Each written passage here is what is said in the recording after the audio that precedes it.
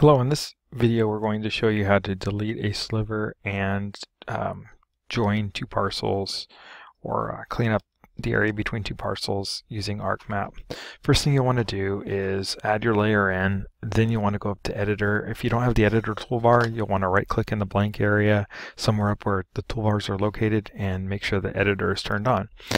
Next thing you want to do is go down to editor, go to start editing, and then what you want to do is go over here in the table of contents, click on your layer that you want to edit, go down to right click on it and then go down to selection and then make this the only selectable layer.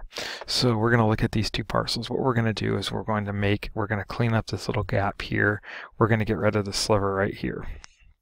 First thing you'll want to do is just click on or select the one that you want to get rid of. So just click on it and then hit your delete key. That should get rid of it.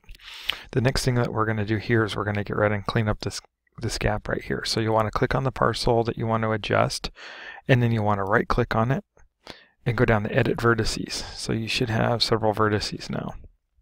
The next thing we're going to do is we're just going to drag this vertice and snap it to its adjacent parcel line and just click off there and now you have a clean parcel area with no slivers. Uh, you'll want to make sure that you stop editing and save your edits. This concludes how to edit and clean up the slivers um, around your parcels or polygons.